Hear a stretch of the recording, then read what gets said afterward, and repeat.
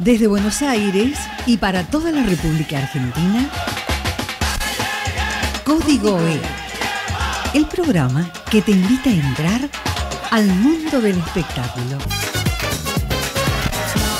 Teresa Constantini, la directora de Yo Soy Tita de Buenos Aires, estrenando un jueves, que es la fecha donde so- todos los cines se, se estrenan. Toda la vida, gente. toda la vida se estrenó los jueves. La época de Tita seguro se estrenaba los jueves y a pesar de vamos a Argentina, vamos Vamos a- Tita. Vamos a Argentina y a la selección también. Contame cómo fue ser Tita, qué pasó por tu cabeza.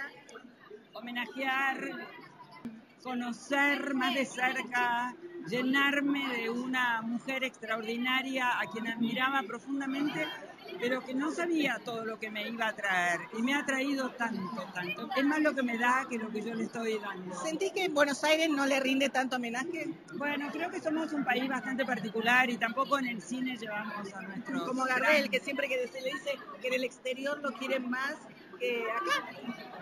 Hay algo en eso de no, de no hacer películas sobre las grandes personas, porque me, da, me da rabia decir personajes, porque yo creo que son personas. Personas, y, este, y bueno, creo que esto fue así como un vehículo extraordinario para que tanto Mercedes Funes, que hace de Tita Merelo, como Damián de Santo en Sandrini, fuera un vehículo para que nosotros expresáramos nuestro amor por esa época. En los lugares que más se filmó, Buenos Aires como que se reformó todo. Sí, Al- buscar y buscar, ¿no? Bueno, pero Barracas, Constitución, San Telmo, claro. un poquito, ¿no? Hay muchas cuadras, pero pudimos, estuvimos adentro del Club Español, estuvimos Claro. en Sanssouci, el Palacio Sanssouci.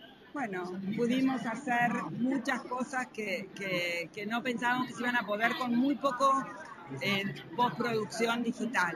Ha llegado, que la conoció. No, la verdad que no, y creo que eso me ha dado mucha distancia eh, buena para poder meterme e- y ficcionar como se puede, porque una vida, una biopic, no es complejo. Claro. Yo lo que hice fue entrar, creo, que es lo que ve la gente, en la vida íntima de ellos. Ah, Hugo del Carril, le comenté, Tita se puso contento. Eh, tenían que haberlo llamado para autorizar lo de El personaje de él. personaje de él. No tengo ni idea, no tengo ni idea de eso. No Sí, sé, no lo conozco y no sé, yo no sé, la verdad que no te puedo contestar.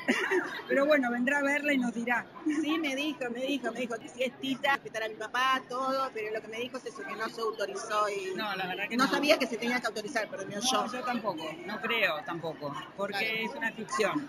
Es una ficción. Sí.